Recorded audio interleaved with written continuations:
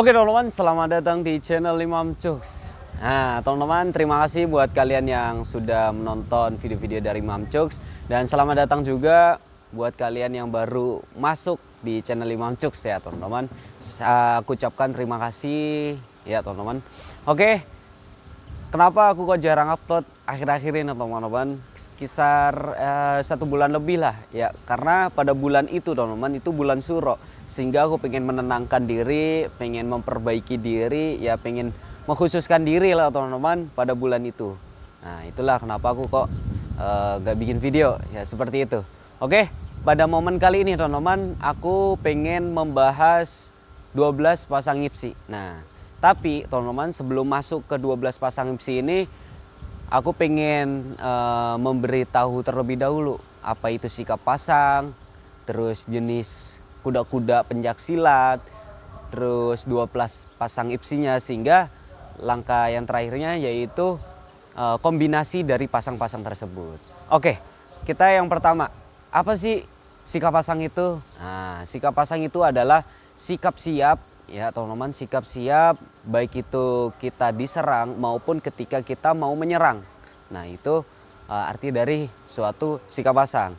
Dan sikap pasang ini mempunyai beberapa unsur ya. Salah satunya yaitu satu unsur kesiapannya. Nah, unsur siap kita diserang atau kita mau menyerang. Itu unsur kesiapannya. Yang kedua, unsur identitas. Pasti suatu perguruan itu mempunyai pasang uh, ciri khasnya masing-masing teman-teman. Sehingga ketika di pertandingan ketika kita memakai baju IPSI, kita tidak tahu dia dari perguruan mana, ketika tanding dia pakai sikap pasang ciri khas mereka. Jadi kita tahu nih, oh ini sikap pasang SAT, oh ini sikap pasang IKS atau yang lainnya se sebagainya teman. Sehingga sikap pasang ini mempunyai unsur sebagai identitas. Ya. Satu kesiapan, yang kedua identitas. Nah, sekarang masuk yang ketiga.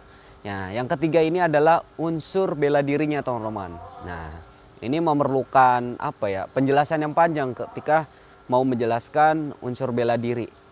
Oke, yang penting tahu dulu.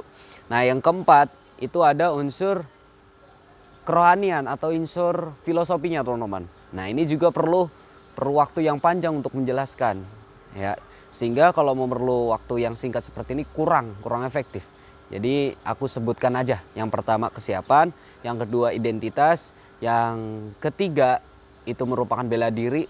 Nah, yang keempat itu adalah filosofi atau kerohanian, teman-teman. Oke, yang pertama kita belajar pasang atau uh, jenis kuda-kuda dalam pencak silat.